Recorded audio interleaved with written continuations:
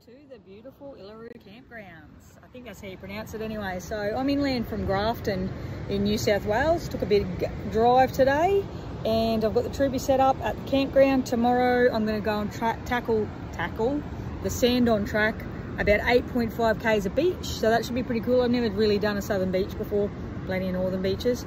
Um, and also with my um, deadly hairstyle going on.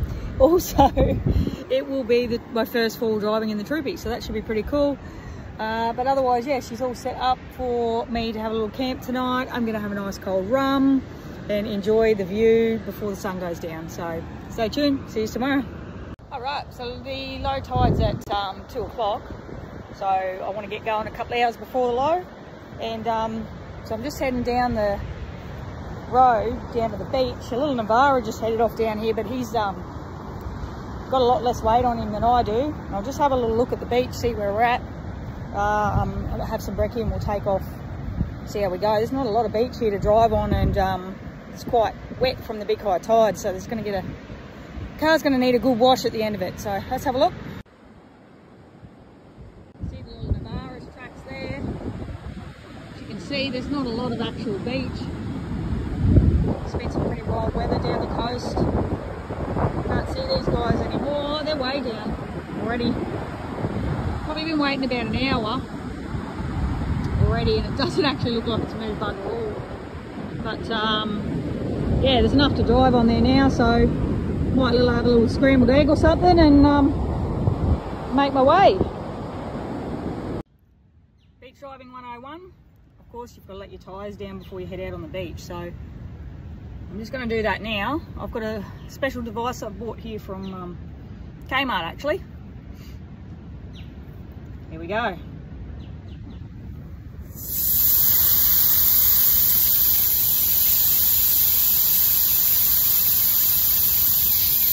Okay, I've let a bit of air out. I, don't, I don't normally drive around with much air in my tyres as it is, but this, um, I've only had the car, I don't know, it's probably, oh, it's well over a month now haven't got any recovery gear or anything like that. So yeah, I'm really prepared for some epic four-wheel driving today. And uh, yeah, that's about it. I, if I have to, I'll let more out. The sand is really wet because the tides have been coming up really high and also there's fresh water coming out of the cliffs. So it doesn't look like any soft sand. Uh, if there is, I'll just jump out. I'll let a bit more air out and just take it steady. It's 8.5 Ks. Like I said, the Navara's already took off up the beach guy at the campground assured me this thing will go anywhere. So um, if anyone's going to get it stuck or whatever, it'll be me. Trust me, I'm pretty good at driving into ditches and holes and stuff. So here we go.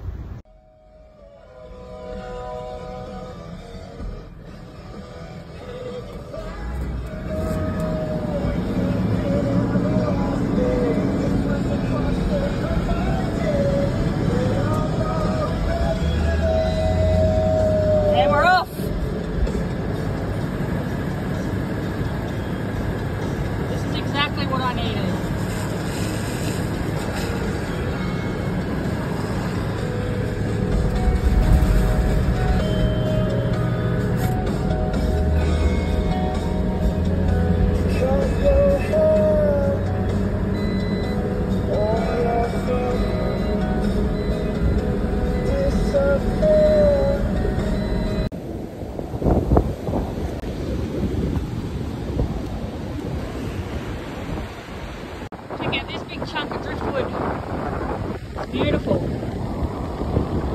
So yeah, the um, the floods have washed a fair bit of stuff up on the beach. It's almost like a Cape York beach. It's quite a lot of rubbish.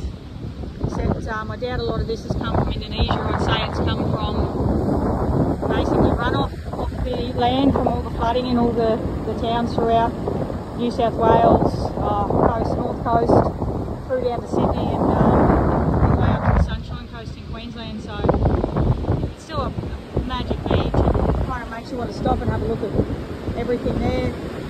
See if there's any treasure. Check out this treasure. This probably still runs. Somebody's lost an angle.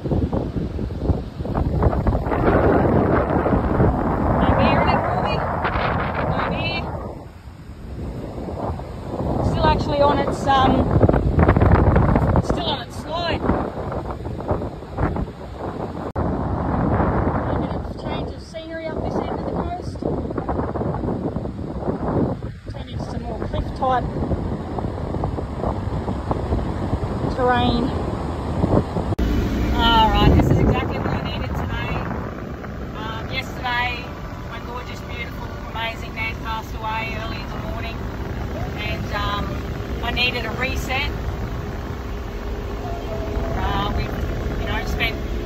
month beside her bed at the hospital um, in Tugun.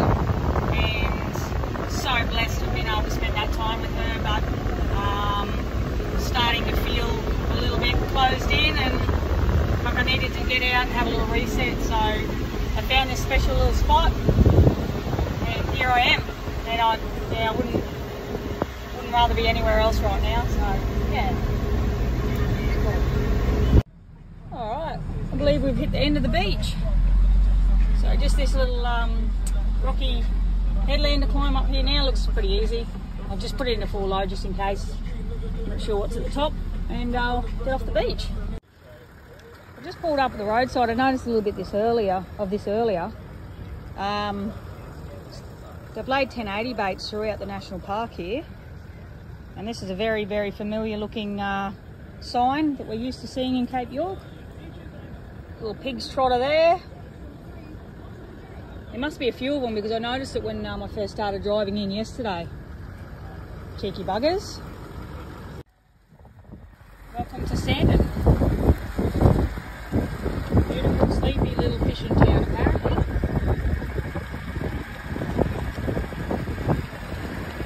Looks like a fun place I could spend uh, a bit of time. Know where everyone is.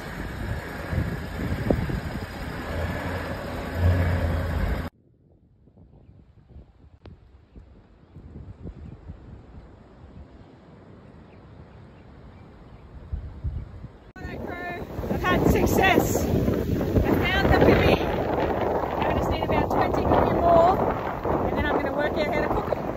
Yes. Two pippies, guys.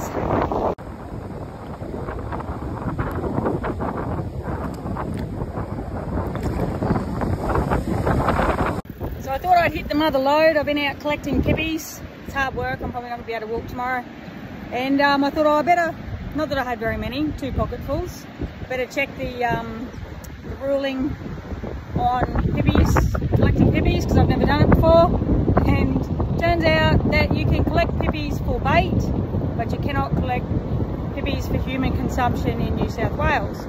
So, I'm not going to be using my pippies for bait, and I'm not going to come in here and disrespect the beautiful national park, so I'm taking my pippies back to set them free. Uh, I hope they're still okay. Time in the old pocket never hurt anybody, did it? Anyway, um, follow the rules, hey. Alright, pippies, going to set you free. Hang on, maybe a little bit more water. oh, shit.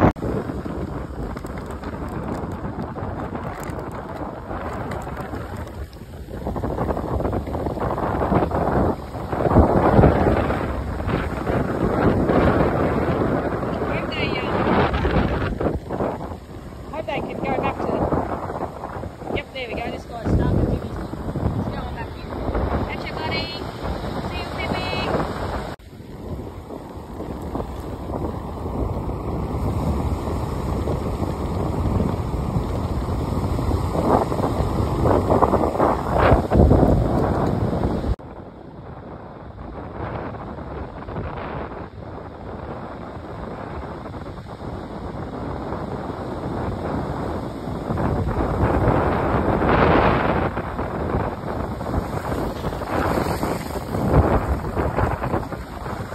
That's it. All right, there we go. So uh, to get to where I was, um, it east um, of Grafton, and I just googled or punched into maps uh, Sandon Sandon Back Trail, and that's the track that I'm on now that takes you through to that beautiful Illaroo campground and Sandon Beach. Sandon Beach, I just it's just too much for me. Anyway, um, yeah, and it's a beautiful little campground there. I'd suggest you're going to stay there, lady I spoke to last night said it's really, really busy there, and I can imagine because it is just beautiful. All right, I am going to head to Willaroo, Willaroo, Willaru now. I think it's Willaru. So that's it for the beach driving today, and that's it for today's adventure. And uh, yeah, hopefully this next spot um, brings another whole adventure for me. And the troopy, I'm just. Turn right onto Minnie Water Road.